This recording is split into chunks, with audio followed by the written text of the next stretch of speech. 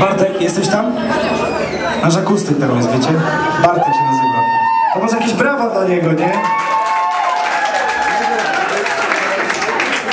Niestety za chwilę wychodzi za mąż, to znaczy żeni się i... Pizdu. No właśnie, no właśnie, no właśnie, no właśnie. Większość nie wie. Dobra, jeszcze, jeszcze jeśli, jeśli się nie obrazicie, to zagramy wam parę takich bardziej znanych numerów, a potem to my będziemy już tylko, dobra? Halo, halo, jesteście tam? Warszawa!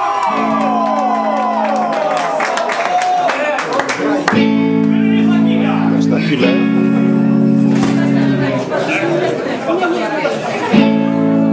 A właśnie, o to mi chodziło. Napisz, to się napisz.